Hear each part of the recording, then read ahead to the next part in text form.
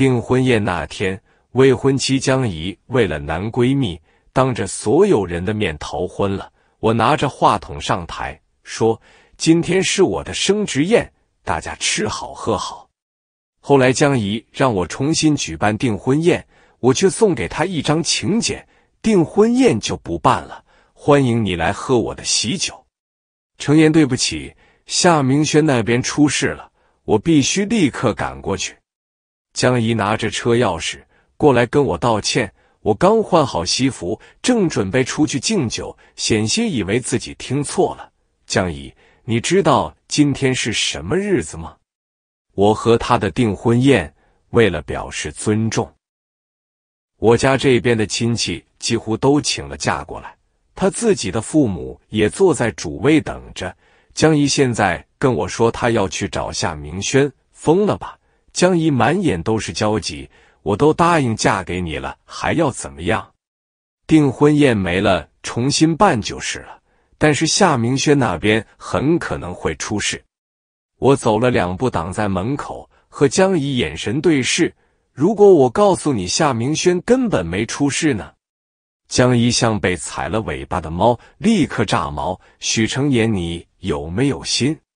夏明轩好歹是和你一起长大的朋友，不过就是个订婚宴，你至于这样见不得他好吗？又是这样，明明是夏明轩处心积虑想毁了我的订婚宴，到头来又成了我见不得他好。从前到现在总是如此。夏明轩可以对我做再多的事，但我只要提出一点意见，都是我有红眼病。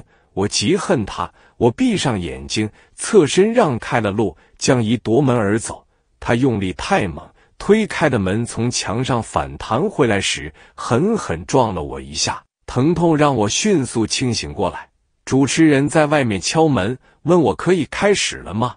我站在原地愣了三秒，然后回答他：“今天的订婚宴取消了。”我向他表示了歉意，并且告诉他我接下来的安排。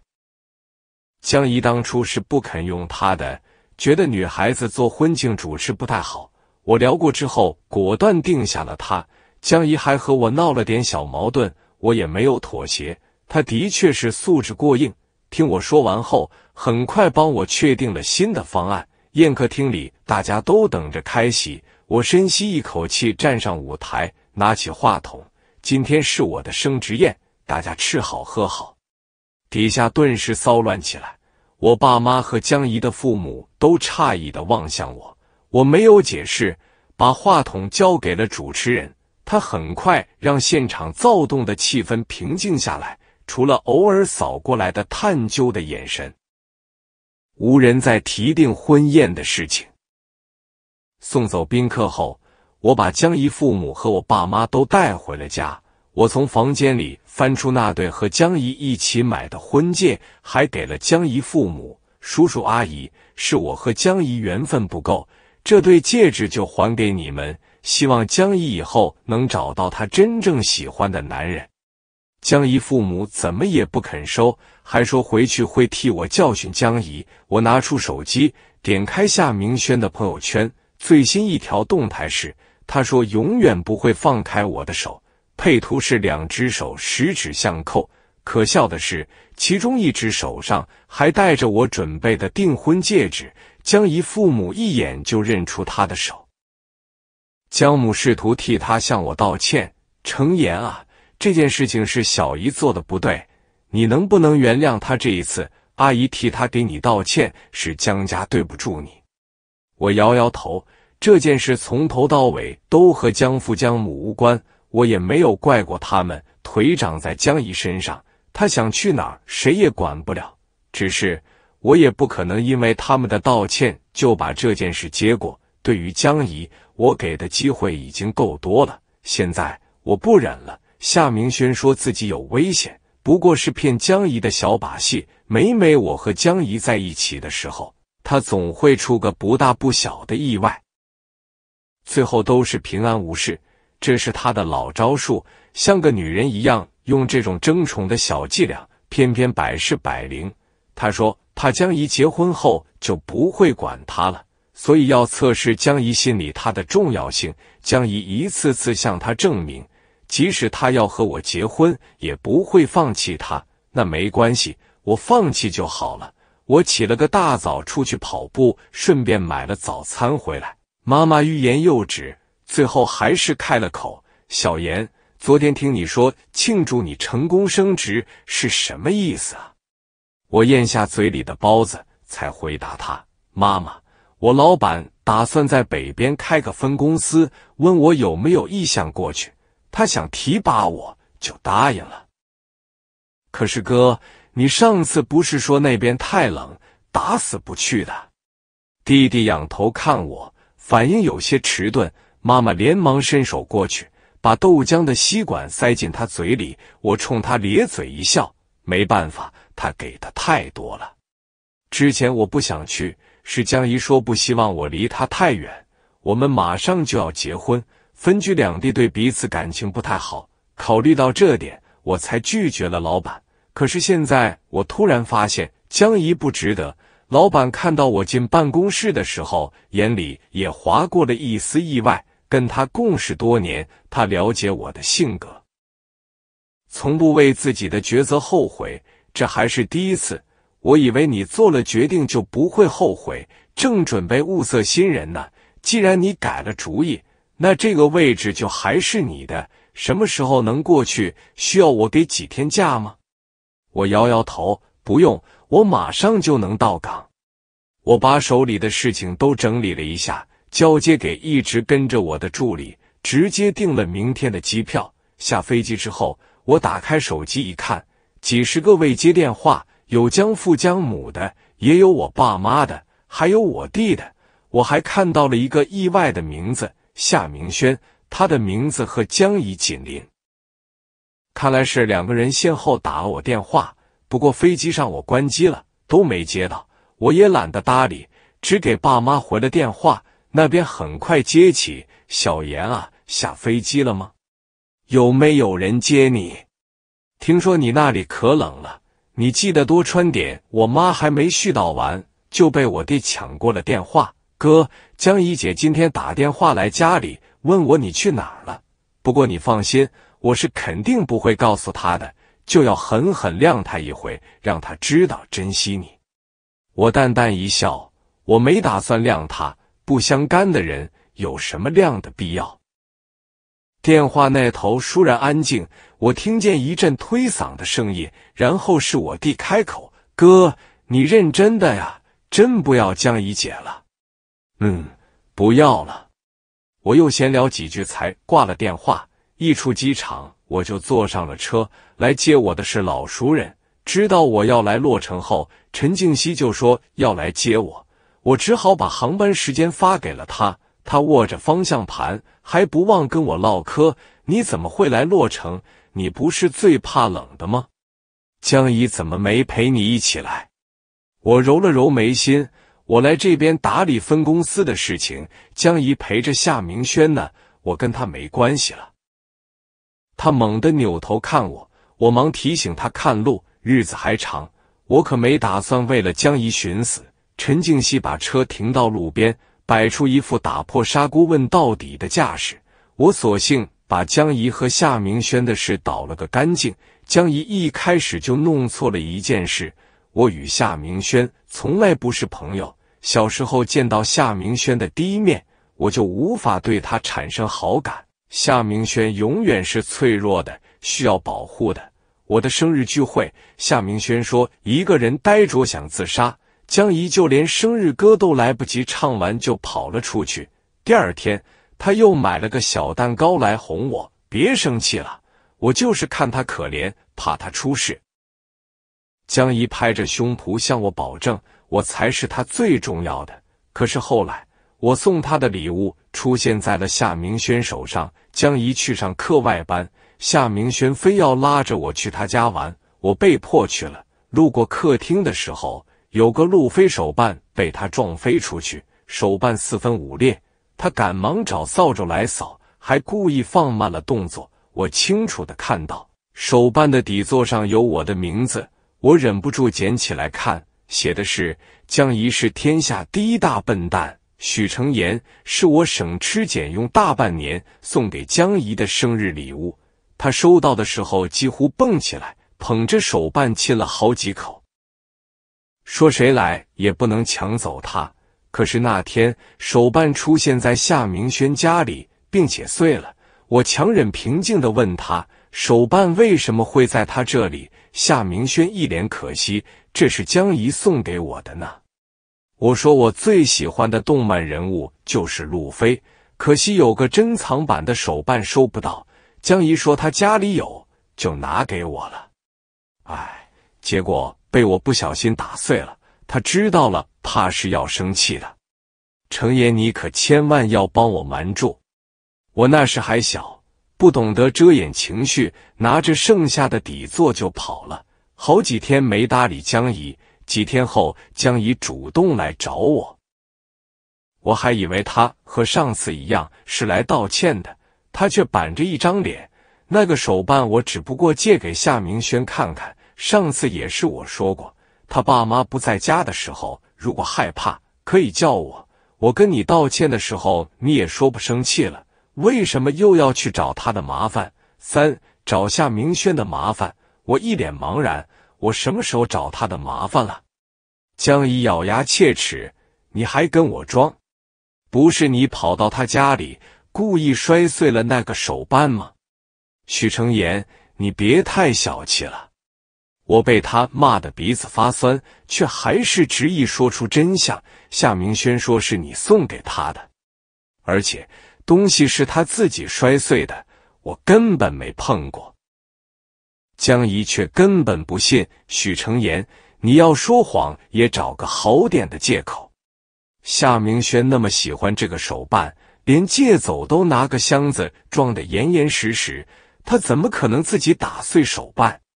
你就算不高兴，也没必要冤枉人家。我被江怡劈头盖脸骂了一顿，也坚决不肯去跟夏明轩道歉。就这样和他冷战了许久，直到后来夏明轩家里出了一事情，他被奶奶接了回去，我和江怡的关系才渐渐回暖。我从没想过夏明轩会再次出现，那时我和江怡已经确定关系。他组局给我过生日，夏明轩跟在江怡后面跟我说：“许哥哥生日快乐。”我的朋友们看着这个突然进来的陌生人，一时不知该如何搭话。江怡主动介绍说：“那是他的弟弟。”我皱着眉，不太高兴。但是江怡用恳求的眼神看着我，我最终还是没说什么。夏明轩却不肯罢休。他从门口的大箱子里取出一个路飞手办，要送给我。许哥哥，以前因为这个手办害你和江怡吵架，现在我把它还给你，希望你不要再生我的气，以后和江怡好好的。气氛一时冷凝，江怡和我的脸色都不太自然，因为夏明轩的出现，我的生日聚会分外尴尬。更糟糕的是，我和江怡陷入了一个怪圈。只要是我需要江怡，夏明轩那边也必定会需要江怡帮一个不大不小的忙。江怡说她一个人在这边，连个朋友也没有，她只能过去。我不同，我有那么多朋友，我不知道该怎么跟她解释。有些事情，朋友帮忙和女朋友帮忙是不一样的。他知道我不安心，信誓旦旦保证说永远把我放在第一位。为了哄我开心，还特意安排了一场旅行。我为此推掉了老板交给我的项目。我还记得老板皱着眉头问我：“你应该知道，我把这个项目交给你意味着什么？”我当然知道，意味着升职加薪，意味着我在公司多年的付出得到了回报。就算是这样，我也放弃了。可是那天江怡他没来。我在夏明轩的朋友圈里知道了他的去向。夏明轩发的是一张图片，没有任何配文。照片里，夏明轩穿着泳裤，江怡的手就放在他的腰上。这张照片的想象空间实在太大了。我窝在订好的酒店里，一天一夜没有出门。江怡终于匆忙赶来，他一来就急着解释。出发的那天。夏明轩突然打电话来说自己刚刚溺水了，很害怕。江怡都来不及告诉我，就转头回去看他，结果发现是虚惊一场。夏明轩是在学游泳，腿抽筋才呛了两口。他说刚溺水太害怕了，求江怡陪他一会儿。我木着一张脸，听完想要说分手，江怡却抱着我的手恳求，说他知道错了，以后绝对不会再犯，并且告诉我家里已经选好了订婚的日子。我看着他手里的订婚戒指出神，脑海里突然有个奇怪的想法：会不会订婚了，江怡就能坚定的选择我？我鬼使神差般答应了，然后被现实狠狠扇了一巴掌。说完全不难过是假的。我和江怡从小一起长大，却抵不过一个半途加入的人。陈静熙越听，握着方向盘的手就越紧。在他发作的前一瞬，我的手机响了起来，是江怡、许成言。我们都要结婚了，你能不能懂事一点？夏明轩这次真的是出事了，你不要和小时候一样，不要小心眼，好不好？我任由他说完，才轻轻说了一声“好”。他显然也没料到我这次这么配合，语气也软了下来。那那既然这样，你给夏明轩道个歉吧。你道个歉，这件事就算完了。我握紧手机，再次和江怡确认：“你确定吗？”我和夏明轩道歉就完了。他在那头胡乱点点头，说是的，真好，是他亲口说的。我们完了，我笑了笑，对着手机那头说道：“对不起啊，夏明轩，耽误你们那么久，祝你们幸福。”没等到江怡回答，陈静熙已经抢走了手机。夏明轩，你个瘪犊子，道你孙子的歉，给老娘滚！他气急败坏骂了一通。然后狠狠挂了电话，挂完才尴尬的看着我。那个刚刚一下没忍住，你不会怪我吧？我好笑的摇摇头，当然不怪。我怎么会为了一个陌生人生朋友的气呢？不知道江怡是怎么找到这里来的。我打开门的时候，她很憔悴。江怡，你怎么会在这里？江怡死死盯着我。你那天说的话是什么意思？哪句话？我一时没回过神来。江怡抿唇，你对夏明轩说：“祝我们幸福。”你为什么要祝我和他？哦，是这事。想起来了，他那么多次奔向夏明轩，我以为他应该是对他有几分心思的。难道是祝福错了？他其实另有所爱。要是真的另有所爱的话。那天好像的确说的不太好，我想了想，决定收回那句话。对不起啊，我不知道你喜欢的不是夏明轩。要不你和我说一下你喜欢谁，我重新给你祝福一次。江怡盯着我的眼睛，双眼泛红。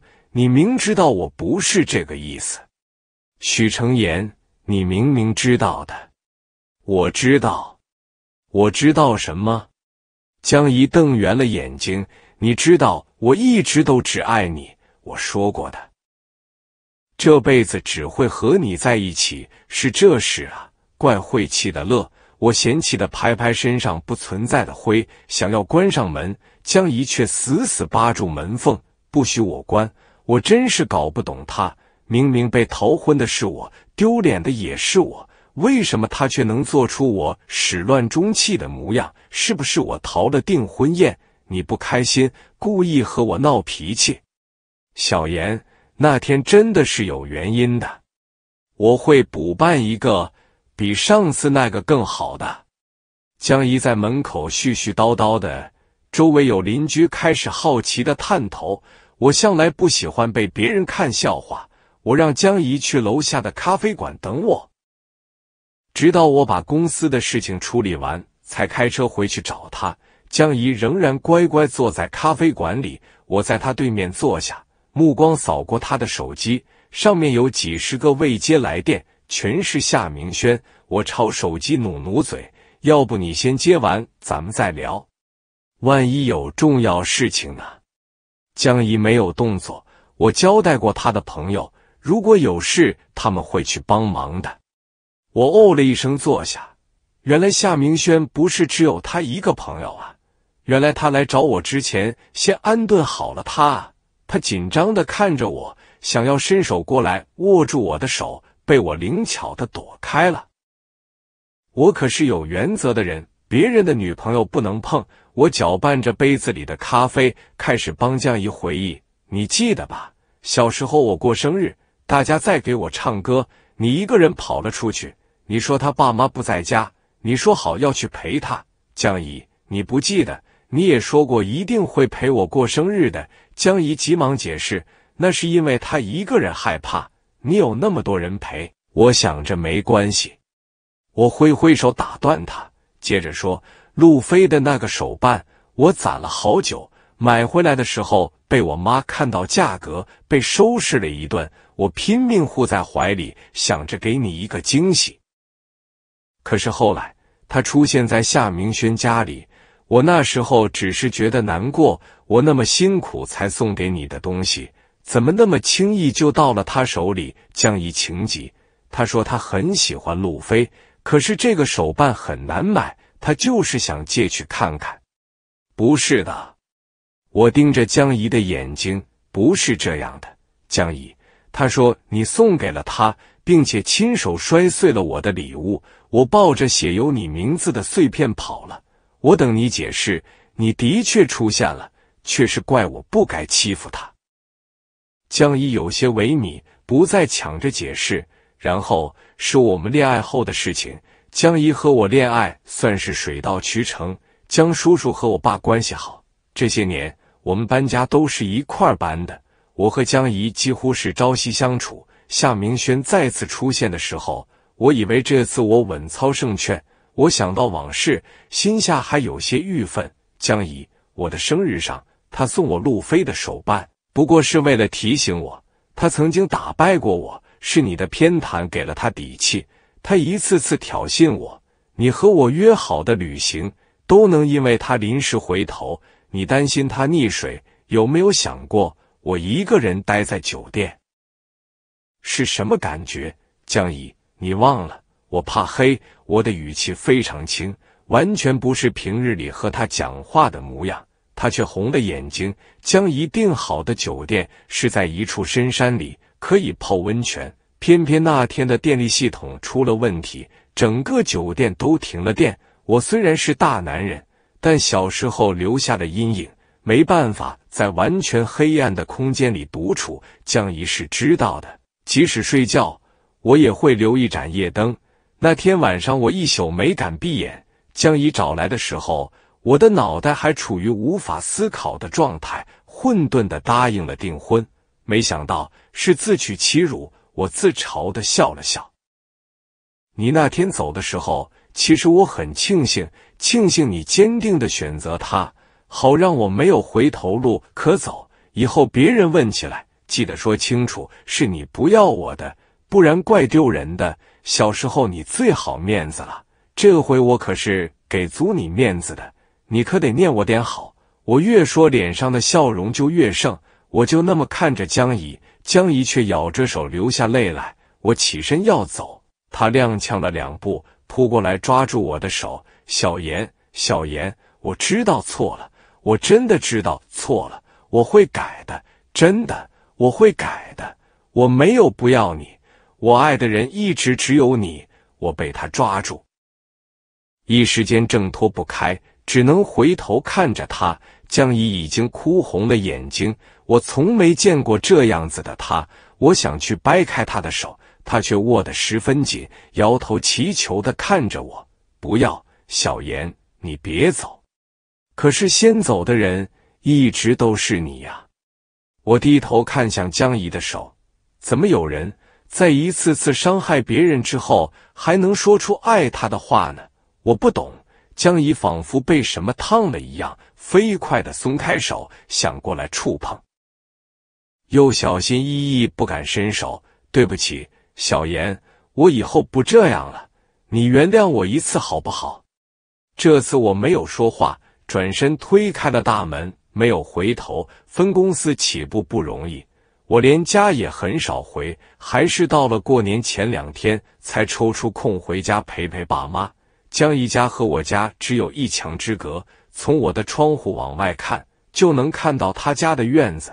我拉上了窗帘，没往外面看一眼。和江姨分开之后，我删除了他所有的联系方式。整个春节假期，我从江姨家门前来来回回路过十几次，都没有往里走一步，哪怕江母热情的邀请我进屋喝杯水，我也婉拒了。年初五那天。陈静熙来我家拜年，我妈听说我在那边落脚，得了他不少帮助，执意要拉着他一起吃饭，算是感谢。余光扫过窗户，瞧见一个熟悉的人影。我弟偷偷跟我咬耳朵，在家门外站一天了，也不知道站给谁看。我示意他别说了，然后去给江母打了个电话。跟他说明了情况，江妈妈很快从家里出来，拉着江怡回了自己家。我松了口气。陈静熙突然问到我：“分公司那边走上正轨后，你打算留下还是回来？”啊！我懵了一下。应该会留在那边吧？总公司这边有老板自己管着，我在那边更自由一点。陈静熙点点头，没再说什么。老板说我前年太辛苦，给我多放了几天假，休息到元宵后才回去。也不知道陈静熙是怎么修的，竟然也拖到节后，非要和我一道回。他起先还能和我聊天玩笑，扫了一眼后视镜就笑不出来了。江怡跟在后面，我看了一眼，果然是他。我有些头疼。那天把事情和他说开后，我以为我们会有默契。彼此互不打扰，没想到江怡好像倔劲上来了。陈静熙主动给我提了个建议：“要不你找个新欢，让他死心。”我茫然的看着他，新欢？哪里来的新欢？陈静熙单手握拳，咳嗽了一下，耳垂诡异的染上一抹绯红。嗨嗨，你要是不介意的话，我可以勉为其难的帮你假装一下。陈静熙那天说的话让我当下有些发懵，我不清楚他是真的为了帮我，还是有其他的想法。认识他这么多年，我从没有察觉他对我有什么朋友以外的感情。将以屡次打扰，我犹豫再三，还是打电话给陈静熙，拜托他来公司找我下班。看到陈静熙的时候，江怡眼神都变了两分。你来干什么？陈静熙笑着回答：“他来接男朋友下班。”我拉开车门，江怡却扑过来按住。许成言：“我不许你跟他走。”我把他的手指一根根掰开，然后从容上车。江怡，别这样，你不是一向最大方的吗？我笑着看他松了手，慢慢蹲在地上，脑袋埋在膝盖上。江怡的身影在后视镜里变得越来越小。不知怎么，我心里有种莫名的畅快。从前都是我固执的拉着江怡，不允许他去找夏明轩。可是他总是失望的看着我，劝我不要那么小气。现在我大方了，他反倒不乐意了。车开出不久，有个男孩子在右前方招手。陈静熙让我减速停下，问他有什么事。男孩探头往车内扫视了一圈。看到我之后，脸色有点变化。师姐，能不能顺路带我一程啊？我今天正好有事要去你家那边。陈静熙皱紧了眉头，小心的偷看了我一眼，摆手拒绝他。不行，今天我要陪男朋友，跟你不顺路，你打车吧。说完，他就摇上车窗走人。我全程没有说话，陈静熙却主动跟我解释。那是我以前实验室的师弟，今年刚调过来这边，我没主动见过他。我有些好笑，他跟我不过是假装的情侣关系，有什么必要和我解释呢？江怡就不会这样，他每一次去帮夏明轩，都只会觉得是理所当然，是好朋友之间的互相帮助。我要是阻拦，那就是不懂事、小心眼。我已经学会了，不会再插手别人的事情了。陈静熙偷偷看了我好久，发现我是真的没有在意。他指尖微微发白，他和我配合的很好，只要有江怡在的场合，他总是表现的无可挑剔。我和他一道出去吃饭，江怡阴魂不散的坐在我们对面的座位。中途，陈静熙接到了他小师弟的电话，他的眉毛皱成一团。这种事情你找我不合适。学开车你可以去驾校报名，选电灯你应该找客服，要搭车可以直接打出租。师弟，我说过我有男朋友的，我不想让他不高兴。江姨听见了他的话，脑袋缓缓垂了下来。夏明轩正是在这个时候走进来。他一眼就看到了坐在一起的我和陈静熙，脸上浮现喜色。江姨，你真的在这里？我找了你好久，你怎么都不接我电话？江姨抬头看着他，声音嘶哑：“有什么事情吗？”夏明轩看着他，公司职位调整，我这个岗位要会开车，你能不能教教我？别人教我我不习惯。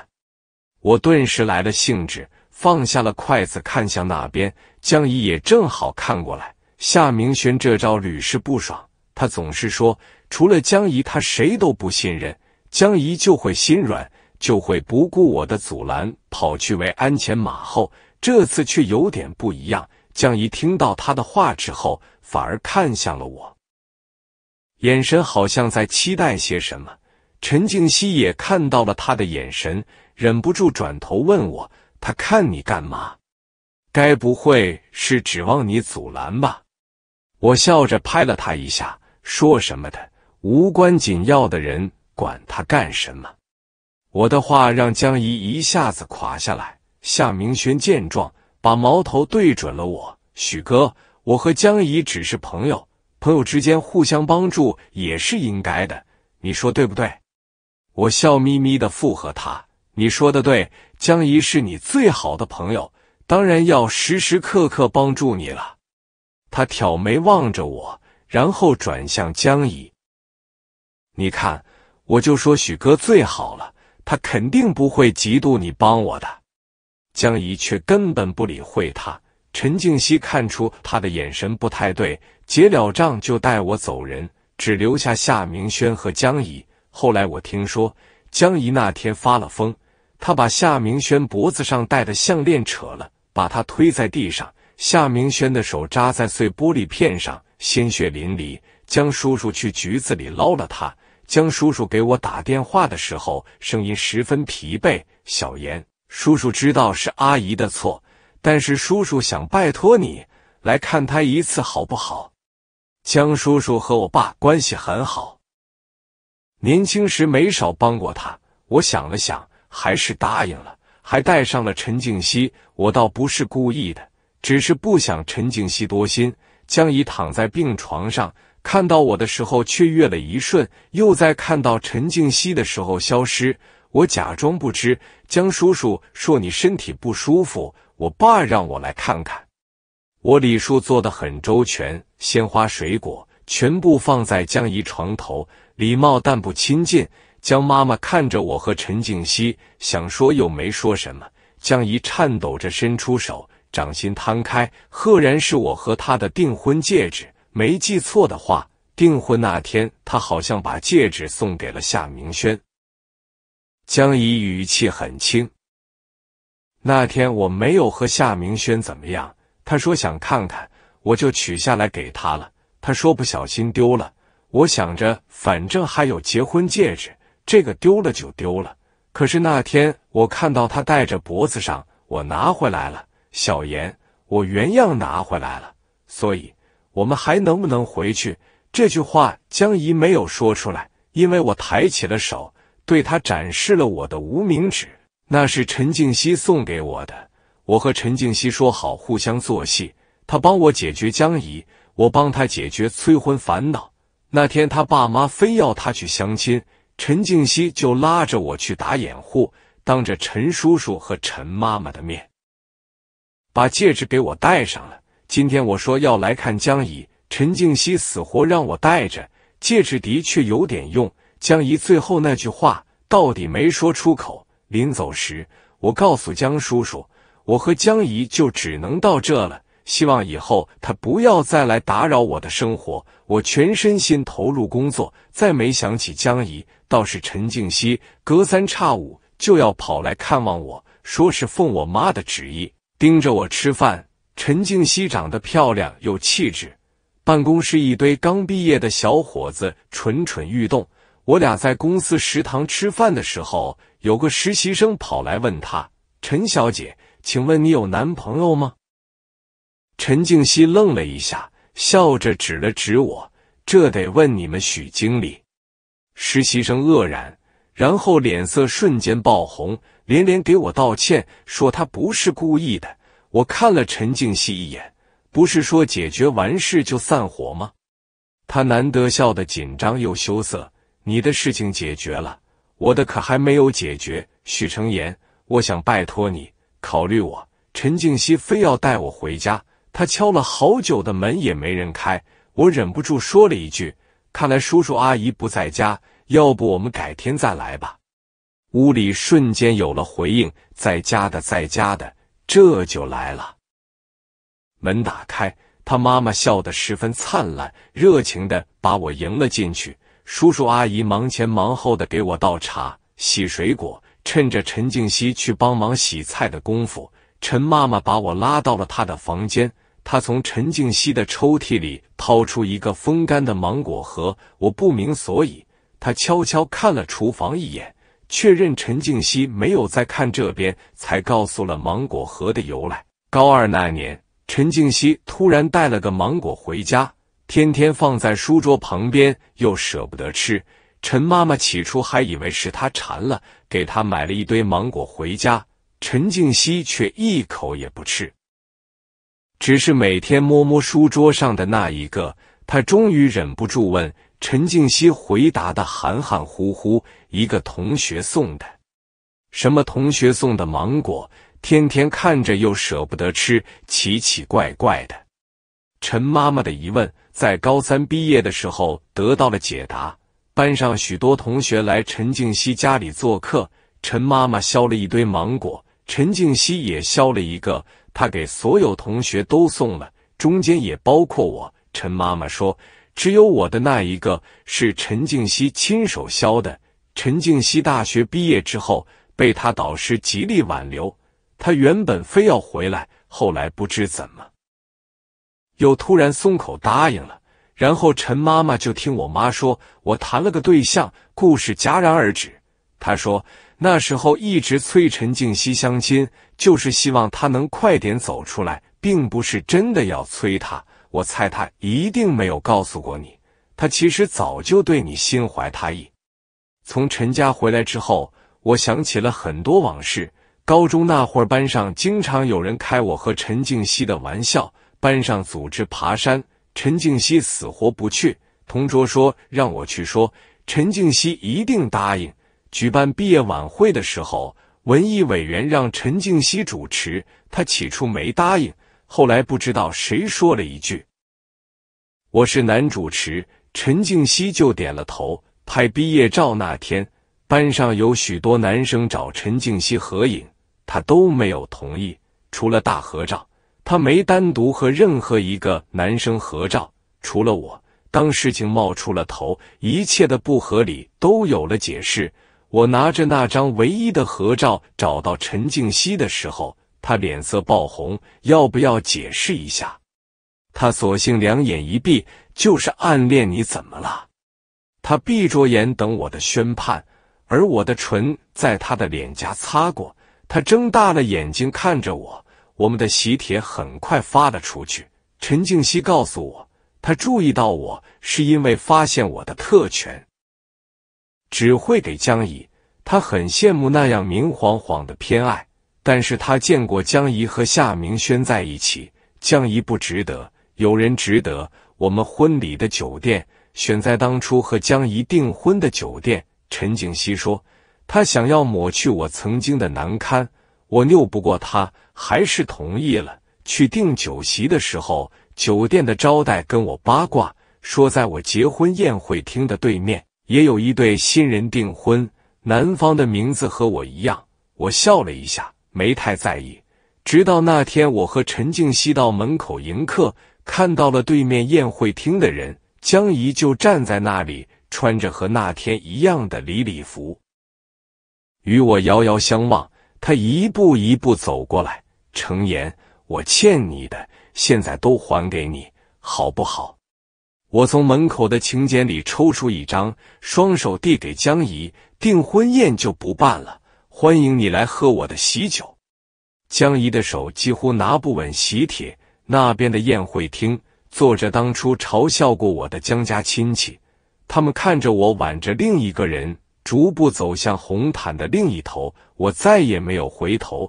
夏明轩后来失去了工作，那是江怡舅妈的公司，他舅妈碍于江怡的情面，一直没把夏明轩怎么样。可是那天他搞砸了一个大单子，他舅妈和客户谈生意。对方是带着妻子来的，夏明轩进去，不小心把茶水洒在了客户身上。除了夏明轩，剩下的一屋子人都变了脸色。夏明轩却还不自知，脆弱的向客户求助，说他只是害怕人，人太多了。客户妻子当场摔了杯子走人。他舅妈气得打电话叫江怡过去领人，江怡却没护着他，只说让舅妈公事公办。舅妈毫不犹豫地开了夏明轩，还在业内传出了风声。虽没说要封杀他，却也彻底断了他在这行混下去的可能。夏明轩上门求援，江怡连门都没开。江叔叔来我家做客，叹息着跟我爸说：“江怡终于长大了。”我就坐在旁边，没有接话，只是握紧了陈静熙的手。